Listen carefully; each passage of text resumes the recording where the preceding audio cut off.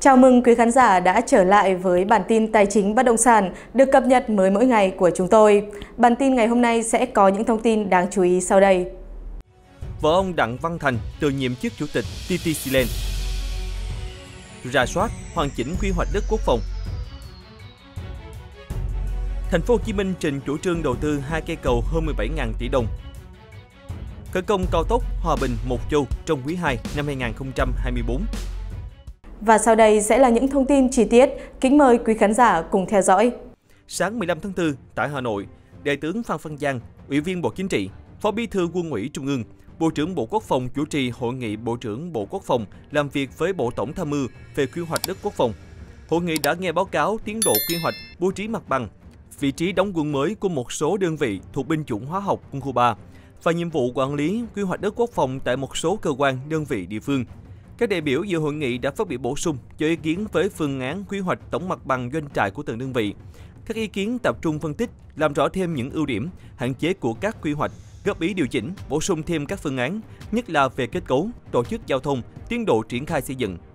Trên cơ sở báo cáo của các cơ quan, đơn vị, Đại tướng Phan Văn Giang yêu cầu tiếp tục rà soát, nghiên cứu, hoàn chỉnh quy hoạch đất quốc phòng, các phương án đóng quân bảo đảm để đơn vị thực hiện hiệu quả nhiệm vụ huấn luyện, sẵn sàng chiến đấu, phòng chống thiên tai, tìm kiếm cứu nạn và sẵn sàng ứng phó với các thách thức an ninh phi truyền thống, cũng như nhiệm vụ phòng thủ dân sự. Đại tướng Phan Văn Giang nêu rõ, các cơ quan, đơn vị phải quản lý chặt chẽ đất quốc phòng, bảo đảm an toàn, bí mật theo đúng quy định của pháp luật, đúng chức năng và nhiệm vụ, đề xuất các phương án sử dụng nguồn ngân sách, lập quy hoạch tổng thể mặt bằng, xây dựng doanh trại bảo đảm chính quy, thống nhất. Đại tướng Phan Văn Giang yêu cầu các cơ quan tiếp tục hoàn thiện các văn bản hướng dẫn, triển khai, thi hành luật quản lý, bảo vệ công trình quốc phòng và khu quân sự, các quân khu, cơ quan quân sự tăng cường phối hợp với cấp ủy, các địa phương để quản lý, sử dụng hiệu quả các khu vực đất quốc phòng, xây dựng khu vực phòng thủ. Tổng cục Chính trị tăng cường thực hiện công tác dân vận, chính sách nhằm góp phần phát triển kinh tế xã hội gắn với bảo vệ quốc phòng an ninh. Bà Huỳnh Bích Ngọc, Chủ tịch Hội đồng Quản trị Công ty Cổ phần Địa ốc Sài Gòn Thương Tín TTC Land, mã chứng khoán STR, vừa có đơn tự nhiệm với lý do theo nguyện vọng cá nhân. Hội đồng Quản trị sẽ trình Đại hội đồng cổ đông xem xét thông qua đơn đề nghị của bà Huỳnh Bích Ngọc và thủ tục miễn nhiệm theo quy định pháp luật và điều lệ công ty. Bà Huỳnh Bích Ngọc hiện là Phó Chủ tịch thường trực kiêm Tổng Giám đốc Tập đoàn Thành Thành Công TTC Group, đồng thời cũng là Phó Chủ tịch TTC Group Đặng Văn Thành. Bà Ngọc bắt đầu đảm nhiệm chức vụ Chủ tịch Hội đồng Quản trị TTC Land từ ngày 25 tháng 4 năm 2022. Hiện, ngoài bà Ngọc, hai thành viên hội đồng quản trị khác của TTC Land là ông Hoàng Mạnh Tiến và bà Trần Diệp Phương Nhị cũng nộp đơn xin từ nhiệm kể từ ngày 23 tháng 4 với lý do cá nhân. Trước đó, vào đầu tháng 4, TTC Land cũng thông báo miễn nhiệm kế toán trưởng đối với bà Trần Thị Phương Loan và bổ nhiệm ông Nguyễn Việt Hùng thay thế. Lý giải về việc thay đổi loạt nhân sự cấp cao của công ty, đại diện TTC Land cho biết, chiến lược đến năm 2030, công ty sẽ mở rộng thêm mảng bất động sản công nghiệp và bất động sản kho vận tại thị trường phía Nam. Theo TTC Land, bất động sản công nghiệp Việt Nam đang có sức hút mạnh mẽ với các nhà đầu tư nước ngoài trong xu hướng dịch chuyển đầu tư quốc tế. Đồng thời, tỷ lệ hấp thụ nhà xưởng xây sẵn được dự báo sẽ tiếp tục tăng nhờ thị trường hưởng lợi từ việc dịch chuyển cơ sở sản xuất từ Trung Quốc sang Việt Nam. Nhu cầu thuê kho sẽ tiếp tục được duy trì bởi tiêu dùng trong nước, nền kinh tế định hướng xuất khẩu của Việt Nam và sự tăng trưởng của thị trường logistics, thương mại điện tử. Do đó, để hiện thực hóa mục tiêu được đặt ra tại các tờ trình về việc miễn nhiệm và bầu bổ sung thành viên hội đồng quản trị trình Đại hội đồng cổ đông thường niên năm 2023, TTC Land công bố danh sách ứng viên do nhóm cổ đông đề cử cho vị trí thành viên hội đồng quản trị mới. Trong đó có ông Lê Quang Vũ và ông Phạm Trung Kiên. Đây đều là những nhân sự dày dặn kinh nghiệm quản lý, điều hành trong lĩnh vực bất động sản dân dụng và bất động sản công nghiệp.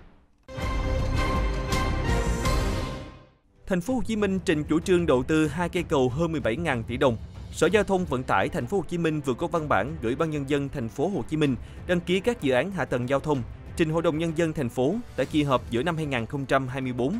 Theo danh sách đăng ký, sẽ có 10 dự án giao thông, trong đó có hai cây cầu lớn là cầu Cần Giờ và cầu Thủ Thiêm 4 sẽ được xin chủ trương đầu tư tại kỳ họp Hội đồng nhân dân thành phố vào giữa năm 2024.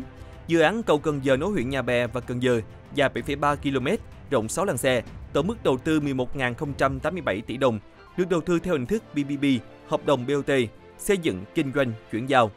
Tại dự án này, vốn ngân sách thành phố Hồ Chí Minh tham gia 49,6%, tương đương 5.246 tỷ đồng, còn lại 50,3% do nhà đầu tư huy động. Còn dự án cầu Thủ Thiêm 4 nối quận 7 và thành phố Thủ Đức dài hơn 2 km với 6 làn xe. Cái cầu này sẽ được xây dựng theo hướng mở với nhịp chính có thể mở ra giúp tàu thuyền dễ dàng qua lại. Tổng mức đầu tư cầu Thủ Thiêm 4 là 6.030 tỷ đồng, đầu tư theo hình thức BBB, hợp đồng BOT.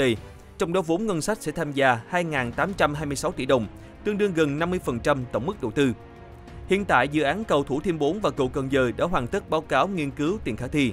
Nếu được Hội đồng nhân dân thành phố Hồ Chí Minh thông qua vào kỳ họp giữa năm 2024, hai cây cầu này sẽ khởi công dịp 30 tháng 4 năm 2025.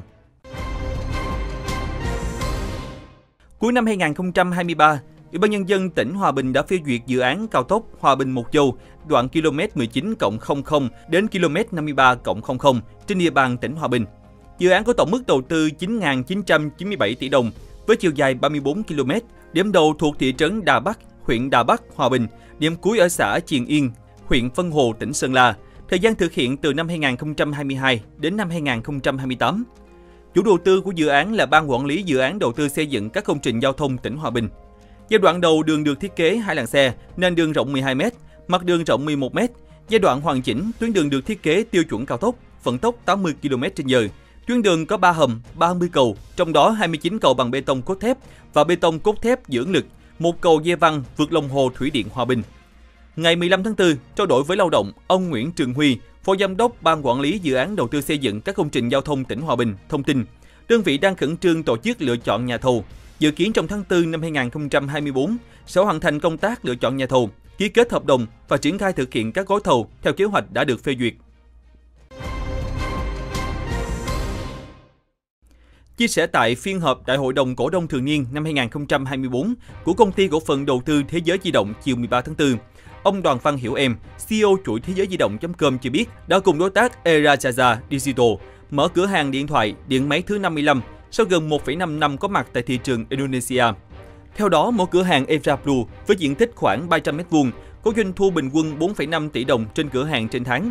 Còn cửa hàng 180 m2 có doanh thu mỗi tháng là 2,5 tỷ đồng trên cửa hàng. Hiện chủ này đã đạt mốc hòa vốn ở cấp độ cửa hàng. Dự kiến trong năm nay chủ sẽ nâng số lượng cửa hàng lên không quá 100 điểm và hòa vốn ở cấp độ công ty. Với những gì đang diễn ra, chúng tôi tin tưởng Era Blue sẽ sớm đạt được mục tiêu như đã dự định. Dư địa để Era Blue phát triển còn rất lớn. Sau khi hòa vốn ở cấp độ công ty, chúng tôi sẽ tăng tốc mở rộng tiến tới mục tiêu 2027 đạt 500 cửa hàng. CEO Thế giới di động.com nhấn mạnh. Chia sẻ với trí thức Z News, ông Hiểu Em cho biết, cộng các đối thủ cạnh tranh hiện tại của Era Blue chỉ khoảng 60 cửa hàng. Hiện Era Blue đang chiếm thị phần lớn nhất về cả số lượng cửa hàng lẫn doanh thu nếu so một một với nhau. Bạn có bất ngờ với thông tin trên? Hãy để lại ý kiến của bạn bên dưới video để mọi người cùng biết nhé. Phần tiếp theo của video sẽ mang đến cho bạn những thông tin nổi bật khác mà bạn không nên bỏ lỡ. Các bạn hãy cùng nhau xem tiếp video để biết đó là gì nhé.